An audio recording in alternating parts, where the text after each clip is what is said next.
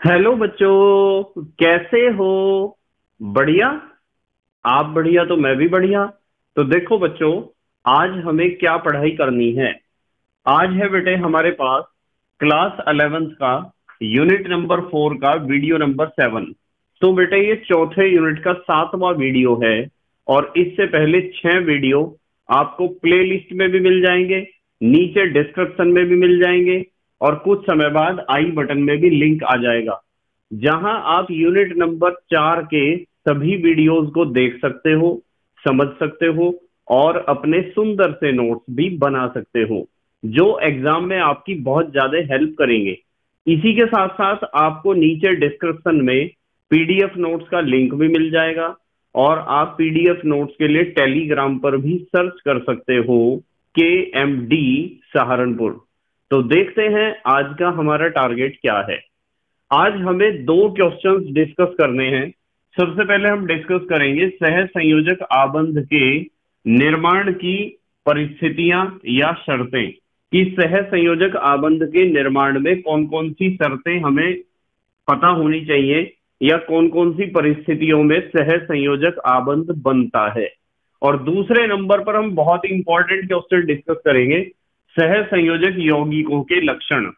जैसे हमने आयनिक या विद्युत संयोजक यौगिकों के लक्षण पढ़े थे, बिल्कुल इसी तरीके से हमें पढ़ने हैं सह संयोजक यौगिकों के लक्षण। तो सबसे पहले हम स्टार्ट करते हैं अपना पहला टॉपिक पहला टॉपिक क्या है? सह संयोजक आबंध के निर्माण की परिस्थितियाँ या शर्तें। कि सह संयोजक आबंध कब कब बन सकता है या कब कब बनता है। ठीक है? तो सबसे पहले तो आपको एक बात ध्यान रखनी है कि मान लो आपके पास कोई परमाणु है और उस परमाणु की बाहरी कक्षा में या तो चार इलेक्ट्रॉन है या पाँच है या छह है या सात है तो जिस परमाणु की बाहरी कक्षा में चार, पाँच, छह या सात इलेक्ट्रॉन होते हैं, ऐसे परमाणु अधिकतर सह संयोजक आबंध ही बनाते हैं। ठीक है? तो सबसे पहली तो शर्त ये है, सबसे पहली शर्त कह दो या परिस्थिति कह दो एक ही बात है। जिन परमाणुओं की, जिन परमाणुओं की बाहरी कक्षा में, जिन परमाणुओं की बाहरी कक्षा में चार, पाँच छ या सात इलेक्ट्रॉन होते हैं या सात इलेक्ट्रॉन होते हैं, वे अधिकतर वे अधिकतर सह संयोजक, वे अधिकतर सह संयोजक बंद ही बनाते हैं। सह संयोजक बंद ही बनाते हैं। मतलब जिनकी बाहरी कक्षा में चार, पाँच, छह या सात इलेक्ट्रॉन होंगे ना, वे ज़्यादातर अधातु होंगे। और जब कोई अधातु किसी दूसरे अधातु परमाणु के साथ जुड़ता है तो वहाँ इलेक्ट्रॉनों की साझेदारी ही होती है। आदान प्रदान नहीं होता है। तो ऐसी स्थिति में क्या बनता है? सह संयोजक बंद ही बनता है। ठीक है? नंबर दो, दूसरी बात, चलो इसी बात को दूसरे तरीके से लिखते हैं। यदि आपके पास दो अधातु परमाणु हैं, दो क्या है? अधातु परमाणु। तो दो अधातु परमाणु जब भी आपस में जुड़ेंगे, ठीक है? क्या लिखेंगे हम? आपस में जुड़ते समय या संयोग करते समय।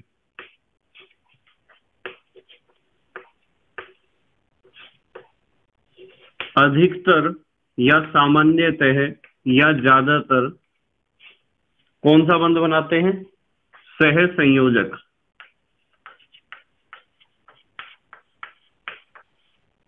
सह संयोजक बंध ही बनाते हैं। दूसरी शर्त यह है। पहली शर्त तो हमने पढ़ी कि जिन परमाणुओं की बाहरी कक्षा में चार, पाँच, छह या सात इलेक्ट्रॉन हैं वे परमाणु ज़्यादातर सह संयोजक बंध ही बनाएँगे। इस चीज़ को ध्यान रखना है आपको। दूसरी बात हमने पढ़ी कि जब दो अधातु परमाणु आपस में जुड़ते हैं तो उन अधातु परमाणुओं के बीच कौन सा बंध बनता है? सह संयोजक बंध ही बनता है। अच्छा एक बात और है, एक शर्त और है, या एक परिस्थिति और है। यदि जुड़ने वाले जुड़ने वाले कह दो या संयोग करने वाले कह दो, एक ही बात है। यदि जुड़ने वाले ए धातु, यदि जुड़ने वाले ए धातु परमाणुओं की, यदि जुड़ने वाले ए धातु परमाणुओं की विद्युत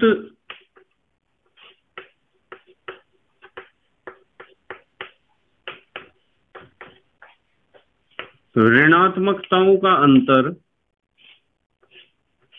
विद्युत ऋणात्मकताओं का अंतर शून्य होता है, ज़ीरो होता है। तो उनके बीच तो उनके बीच सदैव कौन सा बंद बनेगा? उनके बीच सदैव सह संयोजक बंद ही बनता है। उनके बीच सदैव सह संयोजक बंध बंद कह दो या आबंद कह दो? सह संयोजक बंद ही बनता है। अब देखो, यहाँ एक बात है। इन्होंने इस पॉइंट में बताया कि यदि हमारे पास दो अधातु परमाणु हैं और उनकी विद्युत ऋणात्मकताओं में अंतर है शून्य, ज़ीरो अंतर है। तो शून्य अंतर का मतलब है कि वे दोनों परमाणु एक ही तत्व के होंगे। यदि पहला परमाणु हाइड्रोजन का है तो दूसरा परमाणु भी हाइड्रोजन का ही होगा। जब ही तो विद्युत ऋणात्मकताओं में अंतर शून्य होगा। जैसे मैं आपको कहूँ कि मान लो हमारे पास एक अधातु परमाणु है, H और दूसरा भी H है तो H2 यदि आप H2 को देखोगे तो H2 में दो परमाणु हैं और दोनों ही हाइड्रोजन के हैं। तो दोनों परमाणुओं की विद्युत ऋणात्मकता बिल्कुल एक जैसी होगी और यदि दोनों परमाणुओं की विद्युत ऋणात्मकता बिल्कुल एक जैसी होगी तो यह बात पक्की है कि इनकी विद्युत ऋणात्मकताओं का अंतर शून्य होगा। और यदि विद्युत ऋणात्मकताओं का अंतर शून्य है तो इनके बीच इलेक्ट्रॉनों की साझेदारी ही होगी। और इलेक्ट्रॉनों की साझेदारी से जो बंद बनता है, उसे हम कहते हैं सह संयोजक बंद। जैसे आप उदाहरण लिख सकते हो यहाँ Cl2 इसमें भी दोनों परमाणु Cl के हैं। जैसे O2 लिख सकते हो N2 लिख सकते हो। ये सब इसी के उदाहरण आप लिख सकते हो। अच्छा आप P4 भी लिख सकते हो। ठीक है? ये सभी क्या हैं? सह संयोजक यौगिकों सह संयोजक अणुओं के। अणु कहना चाहिए। सह संयोजक अणुओं के उदाहरण हैं। देखो, इस पॉइंट नंबर तीन को आप ऐसे भी लिख सकते हो कि जब एक ही तत्व के दो परमाणु आपस में जुड़ते हैं तो उनके बीच सह संयोजक बंध बनता है। देखो, एक ही तत्व के दोनों परमाणु जुड़े हैं। एक ही तत्व के जुड़े हैं, एक ही तत्व के दोनों परमाणु जुड़े हैं, यहाँ भी दो परमाणु। अब यहाँ कुछ बच्चे सोच रहे होंगे कि सर, यहाँ तो चार परमाणु हैं। भाई, चार परमाणु भले ही हो, पर दो परमाणुओं के बीच ही तो बंध बन रहा होगा। बंध जो बन रहा होगा, वो दो परमाणुओं के बीच बन रहा होगा, दो दो परमाणुओं के बीच। ठीक है? अच्छा एक और लिखते हैं, चलो परिस्थिति। एक और कंडीशन लिखते हैं। मान लो आपके पास अधातु परमाणु है, दो अधातु परमाणु। चलो लिखते हुए समझते हैं। यदि जुड़ने वाले, यदि जुड़ने वाले दो अधातु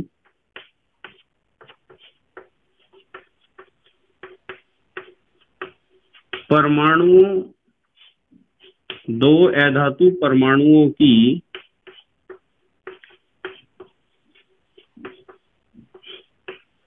विद्युत ऋणात्मकताओं विद्युत ऋणात्मकताओं का अंतर, विद्युत ऋणात्मकताओं का अंतर 1.65 से कम होता है। थोड़ा ध्यान से समझना इस बात को। 1.65 से कम होता है तो उनके बीच तो उनके बीच भी कौन सा बंध बनता है? सह संयोजक। उनके बीच भी सह संयोजक बंद ही बनता है। उनके बीच भी सह संयोजक बंद ही बनता है। देखो, एक बात ध्यान रखना। सह संयोजक बंध के लिए एक बड़ी बात यह है कि अधातु परमाणुओं के बीच बनता है। आपको अब तक क्या सिखाया गया है? अब तक तो यह सिखाया गया है कि यदि कोई धातु परमाणु किसी अधातु परमाणु के साथ जुड़ता है तो धातु परमाणु में से इलेक्ट्रॉन निकल जाते हैं और अधातु परमाणु उन इलेक्ट्रॉनों को ग्रहण कर लेता है। तो जब धातु में से इलेक्ट्रॉन निकले और अधातु में वो प्रवेश किए तो इलेक्ट्रॉनों का स्थानांतरण हुआ है, अर्थात इलेक्ट्रॉनों का आदान प्रदान हुआ है। और इलेक्ट्रॉनों के आदान प्रदान के कारण जो बंध बनता है, उसे आप कहते हो आयनिक बंध या विद्युत संयोजक बंध। या आयोनिक बॉन्ड या इलेक्ट्रोवेलेंट बॉन्ड उसे तो हम पढ़ चुके हैं। आयनिक बंध को तो हम पढ़ चुके हैं। दूसरी बात आपको सिखाई थी कि जब दो अधातु परमाणु आपस में संयोग करते हैं तो उनके बीच इलेक्ट्रॉन का आदान प्रदान नहीं होता है, क्योंकि दोनों परमाणु अधातु हैं और अधातु परमाणु की आदत होती है इलेक्ट्रॉन को ग्रहण करने की। वो चाहता है कि मैं उसका इलेक्ट्रॉन छीन लूँ और पहला परमाणु चाहता है कि मैं दूसरे परमाणु का इलेक्ट्रॉन छीन लूँ। तो दोनों परमाणु एक दूसरे का इलेक्ट्रॉन छीनना चाहते हैं। तो ऐसी परिस्थिति में क्या होता है कि इलेक्ट्रॉन छीन तो कोई भी नहीं पाता है।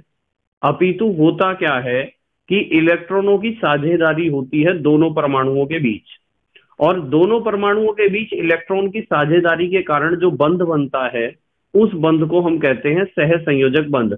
तो यहाँ ज़्यादातर परिस्थितियों में आपने एक बात नोट करी होगी कि हम अधातु परमाणु का ही ज़िक्र कर रहे हैं। हम जब भी बात कर रहे हैं अधातु परमाणु को फोकस कर रहे हैं। हमने सबसे पहले पढ़ा कि जिन परमाणुओं की बाहरी कक्षा में चार, पाँच, छह या सात इलेक्ट्रॉन होते हैं, वे अधिकतर सह संयोजक बंध ही बनाते हैं। तो मुझे एक बात बताओ, जिसकी बाहरी कक्षा में चार, पाँच, छह या सात इलेक्ट्रॉन होंगे, वो धातु तो हो ही नहीं सकता है। आपको ये बात सिखा रखी है पहले से ही। वो धातु थोड़ा ही हो सकता है। वो तो अधातु होगा। भाई जिसकी बाहरी कक्षा में चार इलेक्ट्रॉन है उस पर तो आप एक बार डाउट कर सकते हो कि चार इलेक्ट्रॉन है सर, सर शायद चारों इलेक्ट्रॉन वो छोड़ दे। नहीं छोड़ेगा चारों इलेक्ट्रॉन ठीक है? हालाँकि चौथे वर्ग में या चौदहवें वर्ग में यदि आप ऊपर से नीचे आओगे तो धात्विक लक्षण बढ़ेगा। हाँ ये बात तो है कि जो वर्ग नंबर चौदह है उसके ऊपर के जो तत्व हैं वे अधात्विक लक्षण ज़्यादा दिखाएँगे और नीचे की तरफ़ आते हुए धात्विक लक्षण बढ़ेगा। पर हम वर्ग नंबर चौदह के सभी तत्वों के ऊपर ठप्पा नहीं लगा सकते हैं कि सारे ये धातु हैं। ज़्यादातर क्या है इनमें? अधातु। तो पाँचवें वर्ग के तत्व जिनकी भारी कक्षा में पाँच इलेक्ट्रॉन है, वे आठ करने के लिए क्या करेंगे? आठ करने के लिए तीन इलेक्ट्रॉन लेंगे ही तो या पाँच छोड़ देंगे वे तीन इलेक्ट्रॉन लेंगे और तीन इलेक्ट्रॉन लेंगे तो पक्की बात है कि क्या है? अधातु।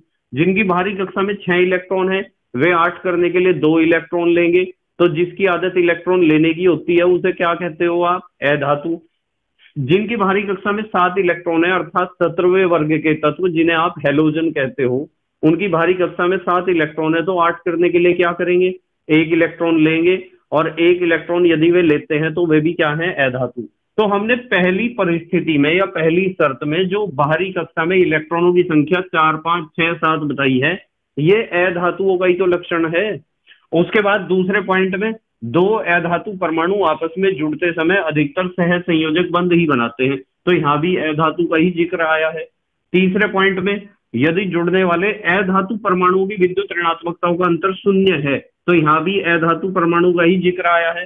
चौथे नंबर पर, यदि जुड़ने वाले दो अधातु परमाणुओं की विद्युत ऋणात्मकताओं का अंतर 1.65 से कम होता है तो यहाँ भी अधातुओं का ही ज़िक्र आया है।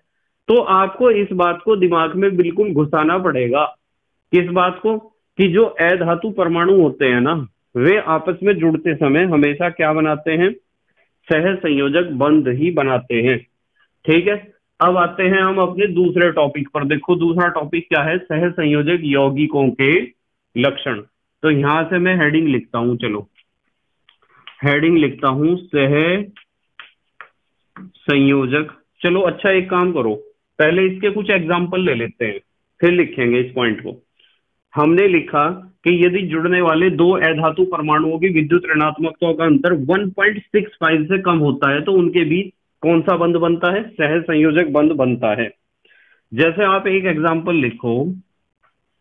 एग्ज़ाम्पल आप लिख सकते हो H2O H2O में दो, एक तो हाइड्रोजन परमाणु तो दो हैं, एक ऑक्सीजन परमाणु है। तो यहाँ जो बंध बनेंगे यहाँ दो बंद बनेंगे। आपको H2O का स्ट्रक्चर पता है ना? संरचना पता है। H2O का कैसा होता है? वी शेप कल परसों हमने समझा था। इसमें क्या है कि इसमें हाइड्रोजन और ऑक्सीजन की विद्युत ऋणात्मकता का अंतर 1.65 से क्या होता है? कम होता है। ठीक है? इसी तरीके से आप एग्ज़ाम्पल ले सकते हो एच हाइड्रोजन और क्लोरीन की विद्युत ऋणात्मकता का अंतर भी 1.65 से कम होता है। एग्ज़ाम्पल ले सकते हो CO2 तो इन यौगिकों में, चाहे ये यौगिक है ये और ये, इन यौगिकों में जो परमाणु अलग अलग तत्वों के हैं, जैसे इसमें कार्बन और ऑक्सीजन के परमाणु हैं तो इन अलग अलग तत्वों के परमाणुओं की विद्युत ऋणात्मकताओं का अंतर 1.65 से कम है। इसलिए हाइड्रोजन और ऑक्सीजन के बीच सह संयोजक बंद बनेगा। हाइड्रोजन और क्लोरीन के बीच सह संयोजक बंद बनेगा। कार्बन और ऑक्सीजन के बीच सह संयोजक बंद बनेगा। ठीक है, पक्की बात है। अच्छा वैसे मैं इन सारी बातों का एक निचोड़ देता हूँ आपको। यदि आपके सामने कोई यौगिक का सूत्र लिखा हुआ है तो आप उस सूत्र को देखकर पहचान सकते हो कि वो यौगिक आयनिक यौगिक है या फिर सह संयोजक यौगिक है। आप पहचान सकते हो कैसे?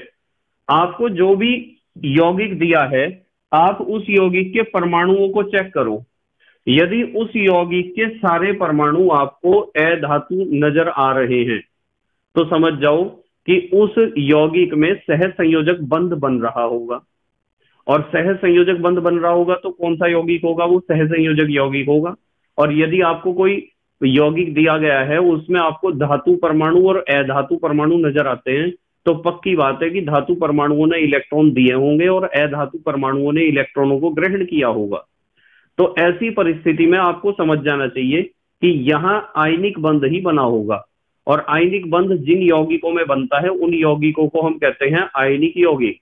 तो आप किसी भी यौगिक का सूत्र देखकर उसकी पहचान कर सकते हो कि वो आयनिक यौगिक है या सह संयोजक यौगिक है। आपको सिर्फ़ ये चेक करना होगा कि उस यौगिक में क्या सारे परमाणु अधातु परमाणु हैं, क्या उन परमाणुओं में से कुछ परमाणु धातु परमाणु भी हैं। बस इतनी बात चेक करनी होगी। यदि धातु और अधातु दोनों नज़र आते हैं आपको तो वो आयनिक यौगिक है। और यदि आपको सारे परमाणु अधातु नज़र आते हैं तो वो सह संयोजक यौगिक होगा। जल्दी से स्क्रीनशॉट लो, दूसरे टॉपिक पे स्विच करेंगे फिर हम। ले लिया बेटे स्क्रीनशॉट ठीक है। अब हम पढ़ेंगे सह संयोजक यौगिकों के लक्षण। सह संयोजक यौगिकों के लक्षण। आपको पता है ना सह संयोजक यौगिक किसे कहते हैं? सह संयोजक यौगिक उन यौगिकों को कहते हैं जिनके परमाणु आपस में सह संयोजक बंध द्वारा जुड़े होते हैं। परमाणु यदि आपस में सह संयोजक बंधों द्वारा जुड़े हैं तो आपको समझ जाना चाहिए कि वो यौगिक कैसा है सह संयोजक यौगिक है। या उस यौगिक को आप सह संयोजक यौगिक कह सकते हो। कल इसके बारे में मैंने आपको पूरी जानकारी दी थी कि सह संयोजक यौगिक किसे कहते हैं। और बहुत इंपॉर्टेंट क्वेश्चन है। ये क्वेश्चन इंपॉर्टेंट है, इसे बिल्कुल पक्का करके जाना है आपको। ध्यान रखना इंपॉर्टेंट क्वेश्चन है ये। तो सबसे पहले सह संयोजक यौगिकों का जो सबसे पहला लक्षण है, उसमें हम पढ़ेंगे भौतिक अवस्था। भौतिक अवस्था। तो यदि आप भौतिक अवस्था की बात करते हो तो सह संयोजक यौगिक ठोस अवस्था में भी पाए जाते हैं और द्रव में भी और गैस में भी। जैसे आप कह सकते हो कि ज़्यादातर सह संयोजक यौगिक मृदु ठोस अवस्था में पाए जाते हैं, यानी कठोर नहीं होते, ये ठोस बहुत ज़्यादा कठोर नहीं होते हैं। ठीक है, मृदु का मतलब थोड़े सॉफ्ट होते हैं। जैसे एक एग्जांपल दे सकते हो आप आयोडीन आयोडीन आयोडीन एक सह संयोजक ठोस है, ठीक है? आयोडीन क्या है? सह संयोजक ठोस है। इसके अंदर दोनों परमाणु किसके हैं? आयोडीन के हैं आई के हैं। तो इलेक्ट्रॉनों की साझेदारी होगी और इलेक्ट्रॉनों की साझेदारी से बनने वाला बंध क्या होता है? सह संयोजक बंध। अच्छा द्रव भी होते हैं ये। कुछ द्रव अवस्था में भी पाए जाते हैं, जैसे आप कह सकते हो ब्रोमीन। रेड कलर का लिक्विड होता है, लाल रंग का द्रव।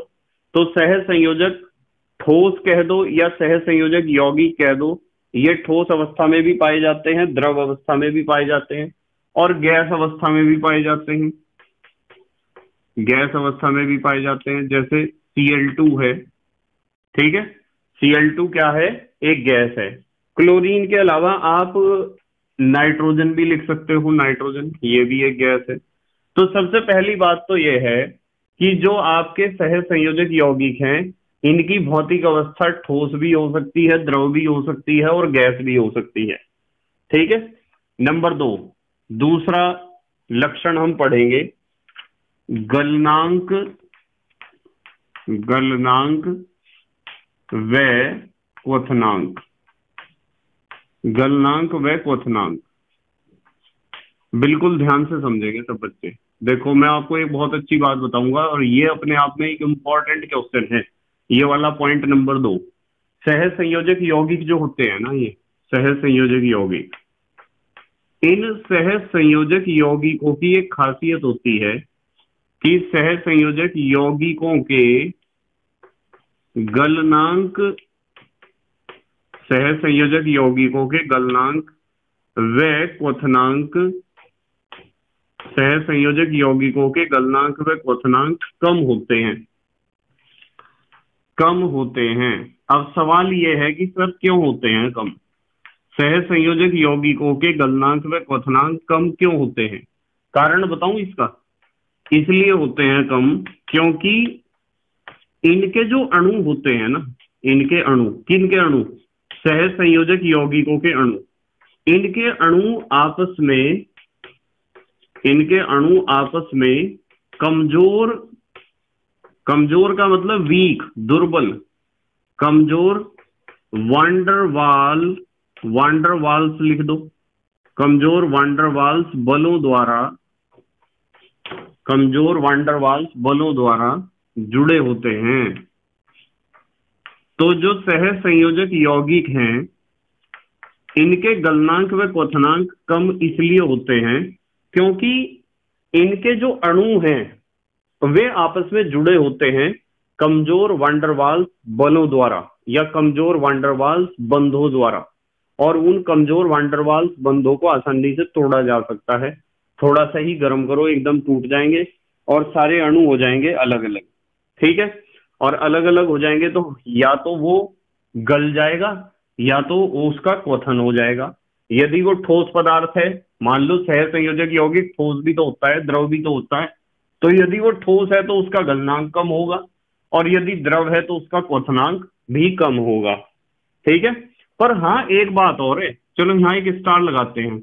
आपको कुछ अपवाद भी याद रखने होंगे। अपवाद उन्हें कहते हैं जो नियमों का पालन नहीं करते हैं। जैसे मैं आपको कहूँ रेत, भाई रेत जो है वो ठोस है S I O two silica भी कहते हैं इसे, सिलिका। तो रेत में सिलिकन है और ऑक्सीजन है। ए धातु है और ए धातु है। ए धातुओं के बीच बना हुआ बॉन्ड कौन सा होगा? सह संयोजक बंद होगा कोवलेंट बॉन्ड होगा। इसका मतलब एस आई ओ टू या सिलिका या रेस एक सहज संयोजक यौगिक है। और सहज संयोजक यौगिक होने के बावजूद भी इसका गलनांक बहुत ज़्यादा होता है। आप एक कढ़ाई में या बर्तन में या तवे के ऊपर रेत को रखो और गर्म करते रहो। बताओ, रेत गल जाएगा क्या? गलेगा तो नहीं, क्योंकि उसका गलनांक बहुत ज़्यादा है, बहुत हाई टेम्परेचर पे गलेगा, वो कई हज़ार डिग्री सी पर। समझ में आती है बात? तो ऐसा ही ओ एक सहज संयोजक यौगिक है, फिर भी इसका गलनांक बहुत ज़्यादा है। हालाँकि हमने पढ़ा है कि सह संयोजक यौगिकों के गलनांक व क्वथनांक क्या होते हैं, कम होते हैं। क्योंकि इनके अणु आपस में कमज़ोर वंडरवाल बलों द्वारा या बंधों द्वारा जुड़े होते हैं। इसी तरीके से हीरा है। यदि आप हीरे की बात करो तो हीरे का गलनांक भी तो बहुत ज़्यादा है। हीरा तो बहुत कठोर होता है। इसी तरीके से ग्रेफाइट है। तो ये कुछ अपवाद हैं जो आपको याद रखने हैं। अब यहाँ बच्चों के दिमाग में क्वेश्चन आता है कि सर ठीक है, चलो अच्छी बात है। आपने बता दिया कि सह संयोजक यौगिकों के गलनांक व क्वथनांक कम होते हैं क्योंकि उनके अणु आपस में कमज़ोर वांडरवाल बलों द्वारा जुड़े होते हैं। पर यहाँ फिर इनके अंदर क्या खासियत है? इनके अंदर क्या खासियत है? इनके अंदर खासियत पता क्या है? इनके अंदर खासियत यह है कि इनमें जो सह संयोजक बंध बनता है ना, वो सह संयोजक बंध बहुत मज़बूत होता है। क्या होता है? बहुत मज़बूत। और इनकी जीएंट संरचना होती है। ठीक है? जीएंट संरचना को कहते हैं कोई ऐसी संरचना जो क्रिस्टलीय रूप बना दे, यानी उस पदार्थ को या उस ठोस को क्रिस्टलीय रूप में कन्वर्ट कर दे। क्रिस्टलीय ठोस हम पढ़ेंगे क्लास ट्वेल्थ में। क्लास ट्वेल्थ में जो सबसे पहला चैप्टर है, वो क्रिस्टलीय ठोस वाला ही है सॉलिड स्टेट जिसे आप कहते हो ठोस अवस्था। चलो अच्छा फिर भी चलो, थोड़ा सा हिंट में यहाँ देता हूँ तीसरे लक्षण में। मतलब मैंने बताया कि इनके जो सह संयोजक बंध है ना, वे बहुत ज़्यादा मज़बूत हैं। इसलिए इनके गलनांक व क्वथनांक ज़रूरत से ज़्यादा हैं। हालाँकि ज़्यादातर सह संयोजक यौगिकों के गलनांक व क्वथनांक होते हैं, बहुत कम। पर इनके ज़्यादा हैं, ये अपवाद हैं। अपवाद माने एक्सेप्शन, जिन्हें नियमों का पालन नहीं करना है। यहाँ समझेंगे, चलो इसे। क्रिस्टल संरचना में। क्रिस्टल संरचना। क्रिस्टल संरचना। तो क्रिस्टल संरचना क्या सभी सह संयोजक यौगिकों की क्रिस्टल संरचना होगी? नहीं। किनकी होगी? केवल जो प्रबल सह संयोजक बंध बनाते हैं ना, केवल प्रबल सह संयोजक केवल प्रबल। प्रबल माने स्ट्रॉन्ग मज़बूत। केवल प्रबल सह संयोजक बंध बनाने वाले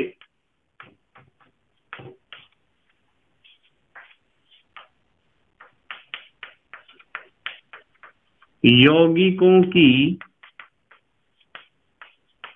संरचना कैसी होती है? क्रिस्टलीय होती है। क्रिस्टलीय होती है। जैसे ऊपर एग्ज़ाम्पल लिखे हैं, ठीक है? जैसे आप एग्ज़ाम्पल दे सकते हो, हीरा दे सकते हो ग्रेफाइट दे सकते हो। यहाँ लिख देते हैं, जैसे हीरा जैसे हीरा डायमंड कह दो, हीरा कह दो, एक ही बात है। ग्रेफाइट आदि। तो इनकी क्रिस्टलीय संरचना है, क्योंकि इनमें जो सह संयोजक बंद बनता है वो बहुत मज़बूत बनता है। अब नंबर चार पर हम जो चौथा लक्षण हम जो डिस्कस करेंगे, वो है विद्युत चालकता। बहुत इंपॉर्टेंट है ये पॉइंट भी। विद्युत चालकता। विद्युत चालकता के बारे में समझेंगे। अच्छा मैंने आपको एक बात बताई थी कि जो आयनिक यौगिक हैं, आयनिक यौगिकों के लक्षण भी तो पढ़ लिए थे। एक तो ये वाला पॉइंट बहुत इंपॉर्टेंट है और एक ये वाला पॉइंट बहुत इंपॉर्टेंट है। जो आयनिक यौगिक थे वे ठोस अवस्था में तो विद्युत के कुचालक थे, क्योंकि ठोस अवस्था में उनमें आयन तो थे, पर वे बंधित आयन थे, मुक्त आयन नहीं थे। और जब ठोस अवस्था में आयनिक यौगिकों में मुक्त आयन नहीं पाए जाते हैं तो ठोस अवस्था में तो वे विद्युत के कुचालक होते हैं। पर यदि आप उन्हें गलित अवस्था में ले आओ, या फिर उनका आसूद जल में या डिस्टिल्ड वाटर में विलियन बना लो तो वे विद्युत के सुचालक होते हैं। क्योंकि गलित अवस्था में या विलियन अवस्था में उनमें मुक्त आयन पाए जाते हैं। इसलिए वे ठोस अवस्था में तो कुचालक होते हैं, जबकि गलित या विलियन अवस्था में सुचालक होते हैं। कौन? आयनिक ठोस। हम बात किसकी कर रहे हैं? सह संयोजक ठोस की। अब सवाल यह है कि सह संयोजक ठोस की क्या हालत होगी? तो सह संयोजक ठोस होते हैं ना। सह संयोजक ठोसों में मुक्त आयन नहीं पाए जाते हैं और ना ही मुक्त इलेक्ट्रॉन पाए जाते हैं। इसलिए सह संयोजक ठोस विद्युत के क्या होते हैं? कुचालक। बिल्कुल ध्यान से समझो। सह संयोजक ठोस विद्युत के क्या होते हैं? कुचालक होते हैं, क्योंकि इनमें मुक्त आयन नहीं पाए जाते हैं। ठीक है? तो हम यहाँ लिखेंगे, ये ये का मतलब सह संयोजक यौगिक। ये विद्युत के, ये विद्युत के कुचालक होते हैं। ये विद्युत के कुचालक होते हैं। क्यों होते हैं विद्युत के कुचालक? क्योंकि इनमें क्या नहीं पाए जाते हैं? क्योंकि इनमें मुक्त आयन मुक्त आयन या फिर लिख दो मुक्त इलेक्ट्रॉन। ये दो ही तो कारण है करंट को सप्लाई करने के लिए। मुक्त आयन या मुक्त इलेक्ट्रॉन नहीं पाए जाते हैं। ये तो सामान्य बात हुई। ज़्यादातर सह संयोजक यौगिक विद्युत के कुचालक होंगे, क्योंकि ना तो उनमें मुक्त आयन होंगे और ना ही उनमें मुक्त इलेक्ट्रॉन होंगे। पर जैसे हमने यहाँ अपवाद पढ़े थे ना, इसी तरीके से यहाँ भी कुछ अपवाद हैं एक्सेप्शन हैं। और जो पेपर सेटर होता है ना, वो ज़्यादातर अपवाद के बारे में ही क्वेश्चन पूछता है। जो आपके ध्रुवीय सह संयोजक यौगिक होते हैं, ध्रुवीय। ध्रुवीय सह संयोजक यौगिक।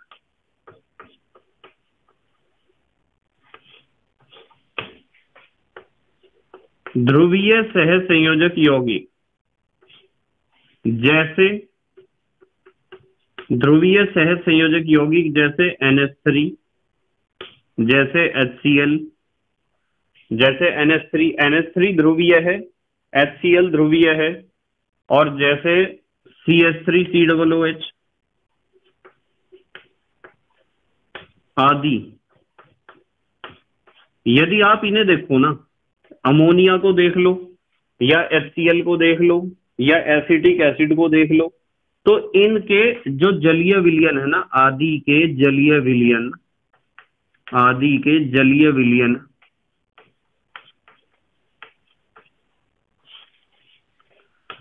विद्युत के विद्युत के सुचालक होते हैं, विद्युत के सुचालक होते हैं। मतलब हमने ऊपर पढ़ा है कि सह संयोजक यौगिक विद्युत के कुचालक होते हैं। इनमें करंट फ्लो नहीं होता, क्योंकि ना तो इनमें मुक्त आयन है और ना तो मुक्त इलेक्ट्रॉन है। और नीचे अपवाद में लिखा कि जो ध्रुवीय सह संयोजक यौगिक है, ध्रुवीय का मतलब जिनके दो ध्रुव हों। जैसे आप HCL से समझ सकते हो बड़ी आसानी से।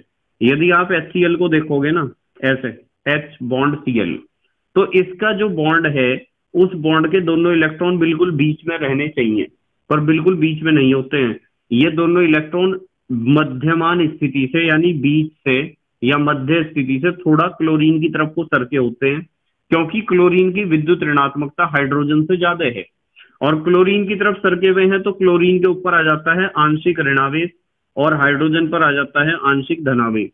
यानी एच एक ऐसा अणु है, उसमें सह संयोजक बंध तो बनता है साझेदारी, बराबर की साझेदारी वाला बंध तो बनता है। पर बंध के दोनों इलेक्ट्रॉन थोड़ा सा क्लोरीन की तरफ़ को सरके हुए होते हैं। Because the electronegativity of chlorine is higher than hydrogen जो क्लोरीन का वैद्युत ऋणात्मकता है, वो हाइड्रोजन से ज़्यादा है। इसलिए इलेक्ट्रॉन पेयर थोड़ा सा क्लोरीन की तरफ़ को सरक जाएगा शिफ्ट हो जाएगा। जिसकी वजह से क्लोरीन का ऊपर आ जाएगा आंशिक ऋणावेश या स्लाइटली नेगेटिव चार्ज और हाइड्रोजन के ऊपर आ जाएगा आंशिक धनावेश या स्लाइटली पॉजिटिव चार्ज तो एच के, ये तो धन ध्रुव बन गया, ये बन गया है ऋण ध्रुव तो एच होता है ध्रुवीय. इसी तरीके से NH3 भी ध्रुवीय होता है CH3 एच भी ध्रुवीय होता है. अब यदि ये ध्रुवीय है HCl और आप इसे पानी में घोल दोगे तो पानी भी तो ध्रुवीय है. और पानी में घोल दिया आपने, इसे पानी भी ध्रुवीय है. तो पानी के अंदर तो ये पक्का है, घुलेगा, इसका बॉन्ड तोड़ देगा पानी. क्योंकि लाइक डिजोल्व लाइक समान समान को घोलता है। ठीक है, जैसे में तैसा। और यदि पानी में आपने इसे घोल दिया तो इसका बॉन्ड टूटेगा ही टूटेगा, पक्की बात है। और यदि बॉन्ड इसका टूटेगा तो इसमें होगा विषम विदलन। क्या होगा? विषम विदलन। विषम विदलन ऐसे बॉन्ड टूटने को कहते हैं, जब बॉन्ड पेयर जो बॉन्ड पेयर ऑफ़ इलेक्ट्रॉन है, यानी बंध युग्म इलेक्ट्रॉन का जोड़ा, किसी एक परमाणु पर चला जाता है। यदि ये बॉन्ड यहाँ से टूटेगा ना तो इलेक्ट्रॉन कौन लेके भाग जाएगा? दोनों इलेक्ट्रॉन। दोनों इलेक्ट्रॉन तो सीएल लेके भाग जाएगा और एच के पास एक भी इलेक्ट्रॉन नहीं रहेगा। तो इसे पानी में घोलने पर आपको एक तो मिलेगा एच पॉजिटिव और एक मिलेगा सीएल नेगेटिव तो ये आपको प्राप्त हो जाएँगे मुक्त आयन। और यदि मुक्त आयन आपको मिल गए हैं तो मुक्त आयन ही तो आवेश को एक स्थान से दूसरे स्थान तक ले जाने का कार्य करते हैं। इसका मतलब साफ़ है कि एच का जलीय विलयन विद्युत का क्या होगा? सुचालक होगा। इसी तरीके से अमोनिया का जलीय विलयन भी विद्युत का क्या होगा? सुचालक होगा। इसी तरीके से एसिटिक एसिड का जलीय विलयन भी विद्युत का सुचालक होगा। तो हमने यहाँ लिखा है अपवाद में। ध्रुवीय सह संयोजक यौगिक जैसे ammonia S C L C S three C W H आदि के जलीय विलयन विद्युत के सुचालक होते हैं क्योंकि क्योंकि इनके जलीय विलयनों में क्योंकि इनके जलीय विलियनों में क्या पाए जाते हैं? विलियनों में मुक्त आयन, इनके जलीय विलियनों में मुक्त आयन क्या पाए जाते हैं? मुक्त आयन पाए जाते हैं। ये अपवाद ध्यान रखना है सब बच्चों को कि जो ध्रुवीय सह संयोजक यौगिक होते हैं, वे विद्युत के सुचालक होते हैं। इसलिए होते हैं क्योंकि उनका जलीय विलियन जब भी आप बनाओगे, वे मुक्त आयन देंगे। उनके जलीय विलियन में मुक्त आयन होंगे। अब यहाँ जो बच्चे ज़्यादा इंटेलिजेंट है ना, बहुत इंटेलिजेंट बच्चे भी हैं। जो बच्चे बहुत इंटेलिजेंट हैं, उनके दिमाग में एक क्वेश्चन जो है करवटे ले रहा होगा और बहुत परेशान कर रहा होगा। उनके दिमाग में क्वेश्चन आ रहा होगा कि, सर, आपने एक बात बताई कि ध्रुवीय सह संयोजक यौगिक विद्युत के सुचालक होते हैं, इनके जलीय विलियन। तो यदि आप जल की बात करते हो, जल की तो जल की संरचना होती है ऐसी। H2O ऐसा होता है। ऐसा होता है H2O चाहे ऐसा बना दो या ऐसा बना दो, बात तो एक ही है। ठीक है? दोनों एक ही बात है। तो यहाँ इलेक्ट्रॉन पेयर ऑक्सीजन की तरफ़ सरका हुआ यहाँ भी ऑक्सीजन की तरफ़ सरका हुआ तो ऑक्सीजन पर दो इकाई आंशिक ऋणावेश और हाइड्रोजन पर एक इकाई आंशिक धनावेश और यहाँ भी एक इकाई आंशिक धनावेश। तो जल भी तो एक ध्रुवीय सह संयोजक यौगिक है। जल H2O H2O क्या है? सह संयोजक यौगिक है। क्यों है सह संयोजक क्योंकि हाइड्रोजन अधातु ऑक्सीजन अधातु ये हाइड्रोजन अधातु ऑक्सीजन अधातु और अधातु और अधातु के बीच जब भी बंद बनता है तो इलेक्ट्रॉन की साझेदारी होती है और इलेक्ट्रॉन की साझेदारी से बनने वाला बंद होता है सह संयोजक बंद तो इसका मतलब जल में जो दोनों बॉन्ड बने हुए हैं, दोनों बंद बने हुए हैं, वे दोनों सह संयोजक बंद हैं, अर्थात कोवलेंट बॉन्ड हैं। और जब ये कोवलेंट बॉन्ड है, इसका मतलब जल एक क्या है? सह संयोजक यौगिक है। और जब सह संयोजक यौगिक है और ध्रुवीय भी है, क्योंकि हाइड्रोजन और ऑक्सीजन की विद्युत ऋणात्मकताओं में अंतर 1.65 से क्या है? 1.65 से कम, भले ही हो, पर अंतर तो है, अंतर है तो इलेक्ट्रॉन पेयर ऑक्सीजन की तरफ़ को सरका हुआ होगा। ऑक्सीजन पर दो इकाई ऋणावेश होगा और हाइड्रोजन पर एक एक इकाई धनावेश होगा। भले ही वो आंशिक हो तो ये ध्रुवीय भी हो गया और सह संयोजक भी हो गया। जब ये ध्रुवीय और सह संयोजक हो गया तो पानी में शुद्ध जल में तो करंट चलना चाहिए। ये अपने आप में एक बहुत बड़ा क्वेश्चन है कि शुद्ध जल में विद्युत धारा प्रवाहित होनी चाहिए, क्योंकि शुद्ध जल सह संयोजक भी है और ध्रुवीय भी है। और आपने कहा कि ध्रुवीय सह संयोजक यौगिकों के जलीय विलयन विद्युत के सुचालक होते हैं तो पानी जो शुद्ध जल है, वो विद्युत का सुचालक क्यों नहीं होता है? वैसे ज़्यादातर बच्चे तो इसी कंफ्यूजन में रहते हैं। ज़्यादातर बच्चे सोचते हैं कि जो शुद्ध जल है, वो विद्युत का सुचालक होता है। अब इस सिद्धांत के अनुसार तो सुचालक ही होना चाहिए। पर बार बार हम आपको पढ़ाते हैं कि शुद्ध जल या अशुद्ध जल विद्युत का कुचालक होता है। ऐसा पता क्यों है? ऐसा इसलिए है क्योंकि शुद्ध जल एक दुर्बल विद्युत अपघटय है। क्या है? दुर्बल विद्युत अपघटय और दुर्बल विद्युत अपघटय है तो इसका मतलब साफ़ है कि इसके बहुत कम अणु आयनों में टूटेंगे। जल के बहुत कम अणु आयनों में टूटते हैं। बहुत कम का मतलब पता कितने कम? लगभग 50, 55 या 60 लाख जल के अणु यदि आप लोगे तो 55 लाख अणुओं में से या साढ़े पचपन लाख अणुओं में से एक अणु टूटेगा आयनों में। तो जब 50 लाख में से एक अणु आयनों में टूट रहा है 50-60 लाख अणुओं में से एक अणु आयनों में टूट रहा है तो इसका मतलब वो तो एक प्रतिशत भी नहीं है, वो तो पॉइंट वन प्रतिशत भी नहीं है, वो तो पॉइंट ज़ीरो वन प्रतिशत भी नहीं है। इसका मतलब बिल्कुल ऐसा है कि यदि आप कहोगी आपके बोर्ड के एग्ज़ाम में मान लो पचपन लाख बच्चों ने पेपर दिया और पचपन लाख बच्चों ने बोर्ड का बारहवीं का पेपर दिया या फिर दसवीं का दिया और उसमें से एक ही बच्चा पास हुआ सिर्फ़।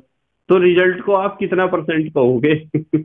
कितना परसेंट कहोगे आप रिज़ल्ट को? बहुत कम कहोगे ना?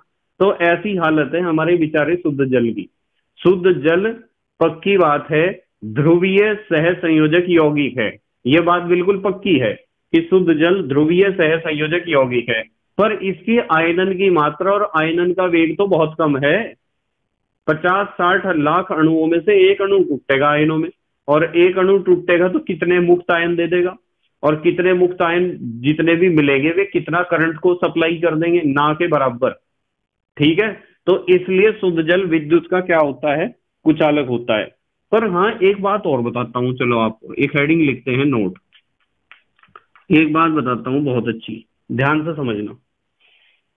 यदि आप ग्रेफाइट की बात करते हो ना ग्रेफाइट ग्रेफाइट सेल में जो आपका सेल होता है, सेल में भी तो होता है, ग्रेफाइट जो पेंसिल सेल या ड्राई सेल होता है। तो ग्रेफाइट की एक खासियत है कि उसमें होते हैं मुफ़्त इलेक्ट्रॉन। तो ग्रेफाइट मुक्त इलेक्ट्रॉनों की उपस्थिति के कारण, मुक्त इलेक्ट्रॉनों की उपस्थिति के कारण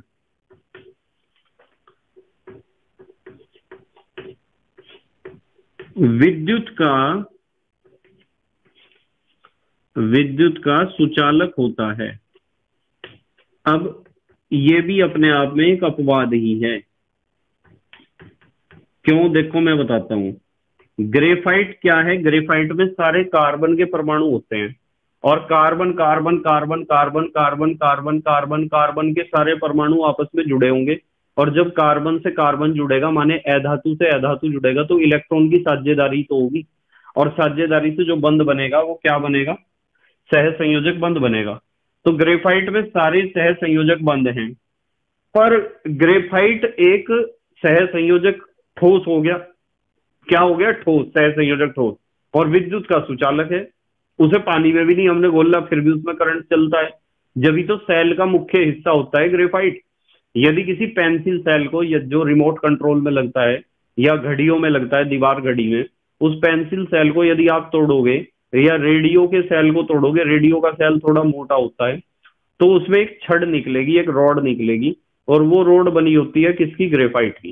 किसकी बनी होती है? ग्रेफाइट की। या आपकी जो कच्ची पेंसिल होती है ना, उसका सिक्का किसका बना होता है? ग्रेफाइट का। तो ये जो ग्रेफाइट है, ये ग्रेफाइट विद्युत का सुचालक क्यों है? ये इसलिए है कि इसमें कार्बन की बाहरी कक्षा में कितने इलेक्ट्रॉन होते हैं? अच्छा यूँ बताओ, कार्बन की बाहरी कक्षा में कितने इलेक्ट्रॉन होते हैं? चार। पर ग्रेफाइट में कार्बन की बाहरी कक्षा के चारों इलेक्ट्रॉन बॉन्ड नहीं बनाते हैं। चार में से केवल तीन इलेक्ट्रॉन ही बॉन्ड बनाते हैं, चौथा इलेक्ट्रॉन रहता है मुक्त अवस्था में। और वो जो चौथा इलेक्ट्रॉन मुक्त अवस्था में रहता है, वो मुक्त इलेक्ट्रॉन की भांति ही व्यवहार करता है। और वो मुक्त इलेक्ट्रॉन एक स्थान से दूसरे स्थान तक आ जा सकता है। और जब मुक्त इलेक्ट्रॉन उस पूरे ठोस में ट्रेवल करेगा, या ना स्थानांतरण उसका होगा तो वो करंट तो फिर सप्लाई करेगा ही।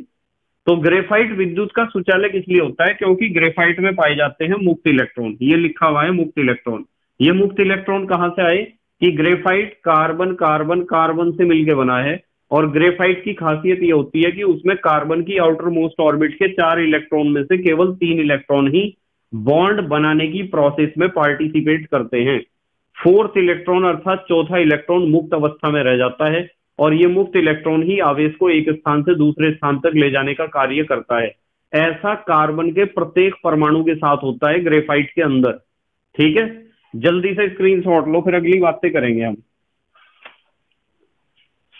ले लिया स्क्रीन ठीक है। पांचवा लक्षण जो हम पढ़ेंगे, वो पढ़ेंगे विलेयता।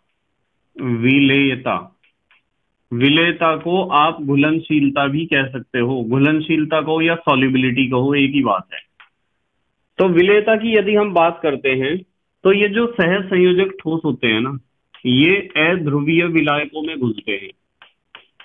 इसमें अध्रुवीय विलायकों में अध्रुवीय विलायकों में घुल जाते हैं। क्योंकि खुद अध्रुवीय हैं, ज़्यादातर सह संयोजक ठोस कैसे होते हैं? अध्रुवीय होते हैं। जैसे अध्रुवीय विलायकों में, जैसे आप कह सकते हो, अध्रुवीय विलायकों में जैसे जैसे कार्बन डाइसल्फाइड कार्बन टेट्राक्लोराइड ठीक है? या benzene C six F six ये सब क्या हैं? ये सब हैं अध्रुवीय विलायक। तो अध्रुवीय विलायकों में जैसे C S two C C L four C six F six आदि में घुलनशील होते हैं। कौन होते हैं घुलनशील इसमें? सह संयोजक यौगिक। तो सह संयोजक यौगिक खुद अध्रुवीय हैं तो अध्रुवीय विलायकों में तो ये घुलेंगे ही। ये बात तो पक्की है। पर कभी कभी एग्ज़ाम में क्वेश्चन इस तरह का आ जाता है। देखो, मैं आपको एक बात बताता हूँ। कभी कभी एग्ज़ाम में क्वेश्चन ऐसा आ जाता है कि आप यूँ बताओ कि चीनी जो है, चीनी चीनी माने शक्कर या सुगर या सुक्रोज, ये चीनी पानी में क्यों घुलती है? जबकि चीनी तो है एक सहज संयोजक यौगिक। चीनी क्या है? सहज संयोजक यौगिक है। सी सिक्स चीनी का फार्मूला क्या होता है? सी बारह एच बाईस ओ ग्यारह। तो कार्बन, हाइड्रोजन और ऑक्सीजन, तीनों अधातु हैं। और तीनों अधातु हैं तो इनके बीच सह संयोजक बंध ही बन रहा होगा। और सह संयोजक बंध बन रहा होगा तो इसका मतलब चीनी एक सह संयोजक यौगिक है। और सह संयोजक यौगिक है तो पानी में क्यों घुल रहा? जब आप कह रहे कि सह संयोजक यौगिक अध्रुवीय विलायकों में घुलते हैं, पानी तो ध्रुवीय विलायक है। पानी में तो दो ध्रुव होते हैं, धन ध्रुव और ऋण ध्रुव। ऑक्सीजन वाला सिरा, ऋण ध्रुव, और दोनों हाइड्रोजन वाला सिरा, धन ध्रुव। तो चीनी जब सह संयोजक है तो पानी में क्यों घुलती है? पानी तो ध्रुवीय है। इसी तरीके से ग्लूकोज। ग्लूकोज भी क्या है? सह संयोजक यौगिक है। C six H twelve O six carbon, hydrogen, oxygen तीनों अधातु अधातु आपस में जुड़ रही होंगी सह संयोजक बंध के द्वारा। इसी तरीके से acetone acetone C S three C S three CO C S three ये एसीटोन भी क्या होता है? ये भी सह संयोजक यौगिक है। ये भी पानी में घुल जाता है।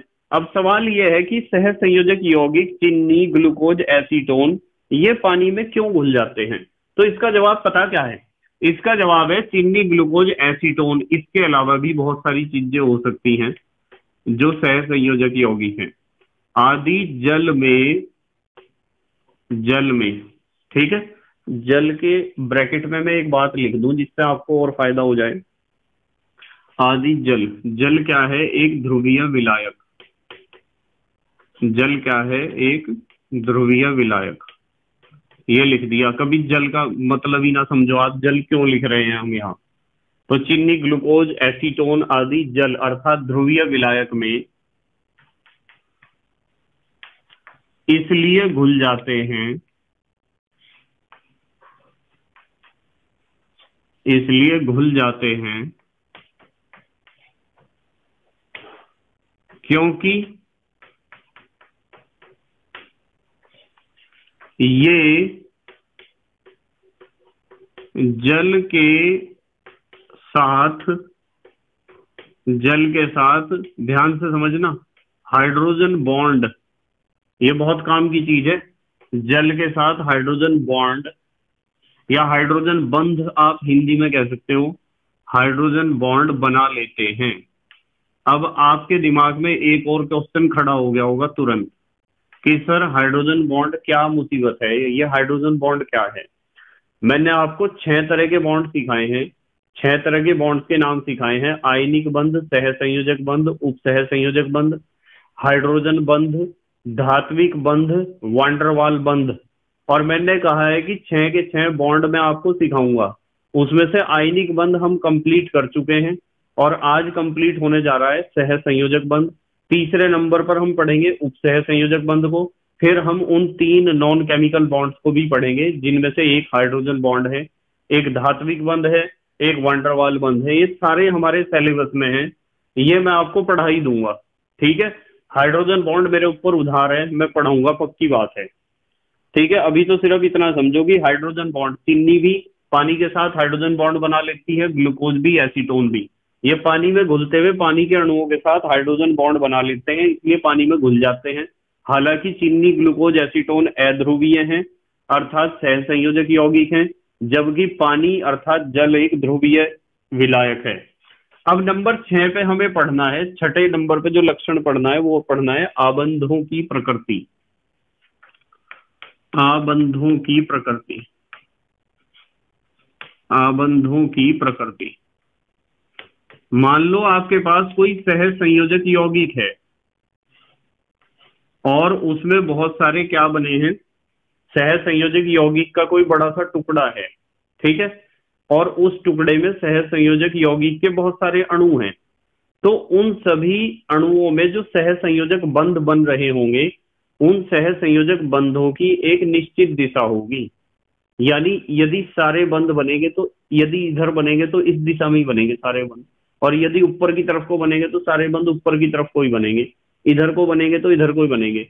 इसका मतलब यह है कि सह संयोजक सह संयोजक यौगिकों के बंध। दिशात्मक होते हैं। दिशात्मक का मतलब एक निश्चित दिशा होती है उनकी कि इस बंद को इस दिशा में ही बनना है। इस बंद को इस दिशा में ही बनना है। इस बंद को इस दिशा में ही बनना है। यदि किसी यौगिक में केवल एक बंद है तो उसकी दिशा भी फिक्स होगी। और यदि किसी यौगिक में दो बंद हैं तो दोनों की दिशा फिक्स होगी, उनके बीच का बॉन्ड एंगल फिक्स होगा। कि इस बंद और इस बंद के बीच का कोण इतने डिग्री ही रहना है।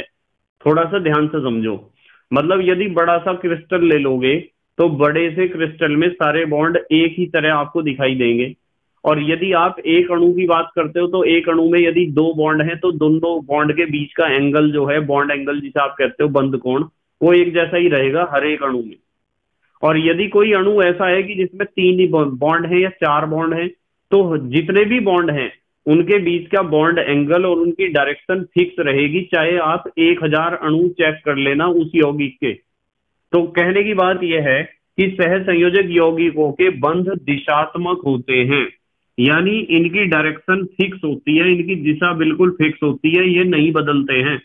कि ऐसा नहीं होने का कि आपने एक अणु लिया और उसमें बॉन्ड एंगल 60 डिग्री है और दूसरा अणु लिया, उसमें बॉन्ड एंगल 55 डिग्री है। यदि आप एक ही यौगिक के बहुत सारे अणुओं को चेक करोगे तो उन सारे अणुओं में बॉन्ड बिल्कुल एक तरीके से ही बने होंगे और उनके बॉन्ड एंगल भी बिल्कुल एक जैसे होंगे। तो यहाँ हमने लिखा है सह संयोजक यौगिकों के बंद दिशात्मक होते हैं। अतः इनकी इनकी माने किनकी? सह संयोजक यौगिकों की। अतः इनकी, एक निश्चित एक निश्चित जामितीय एक निश्चित जामितीय आकृति होती है। निश्चित जामितीय आकृति होती है। तो इनकी एक निश्चित जामितीय आकृति होती है किनकी? सह संयोजक यौगिकों की। ठीक है? उसके बाद हम नंबर सात पर जो हमें लक्षण पढ़ना है, वो पढ़ना है रासायनिक अभिक्रियाएँ। कि ये जो सह संयोजक यौगिक होते हैं, ये किस प्रकार की रासायनिक अभिक्रियाएँ दिखाते हैं? देखो, मैं बताता हूँ कैसी रासायनिक अभिक्रियाएँ दिखाते हैं। अच्छा पहले मुझे आप एक बात बताओ। जो आयनिक यौगिक थे, वे आयनिक यौगिक जो हमने पढ़े थे, वे किस प्रकार की रासायनिक अभिक्रियाएँ दिखा रहे थे? आप कहोगे कि सर, आयनिक अभिक्रियाएँ, और आयनिक अभिक्रियाओं का वेग होता है सुपर फास्ट एक सेकंड के छोटे से हिस्से में ही कंप्लीट हो जाती है। पर जो सह संयोजक यौगिक है, वे तो आयनों में टूटते ही नहीं है। ज़्यादातर सह संयोजक यौगिक तो अध्रुवीय होते हैं, आयनों में ना टूटने वाले। तो जब आयनों में नहीं टूटेंगे तो आयनिक अभिक्रियाएँ दिखाई नहीं सकते हैं। ये दिखाते हैं आणविक अभिक्रियाएँ। ठीक है? तो हम लिखेंगे सह संयोजक यौगिक सह संयोजक,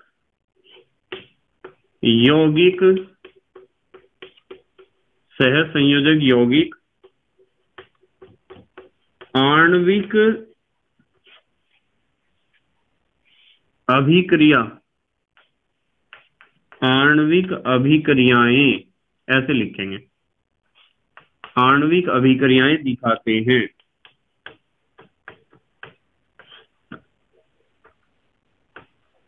जिनका वेग जिनका वेग कम होता है। जिनका वेग कम होता है। भाई, आयनिक अभिक्रियाओं का वेग तो होता है बहुत फास्ट पर आणविक अभिक्रियाओं का वेग होता है कम। ये चीज़ ध्यान रखनी है। अब हमारे देश के प्यारे प्यारे बच्चे जल्दी से स्क्रीन शॉट लेंगे। ले लिया बेटा स्क्रीन शॉट ठीक है। तो बेटे, मुझे उम्मीद है कि आज का टॉपिक आपके समझ में आया होगा कि सह संयोजक यौगिक बनने की शर्तें क्या हैं, यानी परिस्थितियाँ क्या हैं, कब बनता है सह संयोजक यौगिक और सह संयोजक यौगिकों के लक्षण कौन कौन से हैं? हमने सह संयोजक यौगिकों के कितने लक्षण पढ़े हैं? सात। ये सातों लक्षण का मतलब सात क्वेश्चन सात वेरी शॉर्ट क्वेश्चन है। आजकल के पेपर सेटर ऐसे बहुत कम हैं जो सीधा ही क्वेश्चन आपको दे देंगे कि सह संयोजक यौगिकों के लक्षण बताओ। ऐसा क्वेश्चन आने के चांस बहुत कम होते हैं। क्वेश्चन जो है, जितने पॉइंट हमने पढ़े हैं, सात इन पॉइंट के अंदर से ही क्वेश्चन आता है। किस तरह का क्वेश्चन आ सकता है? क्वेश्चन इस तरह आ सकता है कि सह संयोजक यौगिक अध्रुवीय विलायकों में घुलनशील होते हैं, परंतु फिर भी चीनी ग्लूकोज एसीटोन जल में क्यों घुल जाते हैं, जबकि जल एक ध्रुवीय विलायक है? तो इस तरह के टेक्निकल क्वेश्चन पूछे जाने के चांस सबसे ज़्यादा होते हैं, ध्यान रखना आप। इसीलिए हम कहते हैं कि सब्जेक्ट को जब भी आप पढ़ते हो तो उसे समझ के पढ़ो। यदि आप समझ के पढ़ोगे, उस चीज़ को, उसके फैक्ट्स जान लोगे उस कंसेप्ट को क्लियर करोगे तो आपके सामने किसी भी तरह का क्वेश्चन आ जाएगा तो आप उसका इजीली आंसर दे सकते हो। और यदि आप ऐसा नहीं करोगे तो फिर प्रॉब्लम में फंसोगे ही, पक्की बात है। ठीक है? तो मेहनत और ईमानदारी से अपनी पढ़ाई करते रहो। प्ले लिस्ट के अनुसार आपको पढ़ना चाहिए। यदि सब्जेक्ट पर पकड़ आपको मज़बूत बनानी है तो आपको प्ले लिस्ट के अकॉर्डिंग ही पढ़ना चाहिए। मैं बार बार कहता हूँ, और हैंड रिटन नोट्स बनाने चाहिए। अपने हाथ से लिखे गए नोट्स सबसे अच्छे होते हैं। स्क्रीन शॉट लो, नोट्स बनाओ। जितना मेरे साथ लिख सकते हो, लिखो। पीडीएफ नोट्स यदि आप डाउनलोड करते हो, टेलीग्राम पे जो हमारा चैनल है के एम डी सहारनपुर यदि वहाँ से आप पीडीएफ नोट्स उठाते हो तो उन पीडीएफ नोट्स को भी आप लिख लिया करो। प्रिंट आउट निकालने में बहुत ज़्यादा खर्च आपके पैसे हो जाएँगे। इसलिए आप क्या करो हैंड रिटन नोट्स बनाओ, सबसे अच्छी बात है। वैसे आपकी मर्ज़ी है, ठीक है, जैसा आपको अच्छा लगता है वैसा करो, पर मेहनत और ईमानदारी से पढ़ाई ज़रूर करो, यदि आपको ज़िंदगी में सफल होना है। ठीक है बेटे? तो thank you very much for watching this video okay bye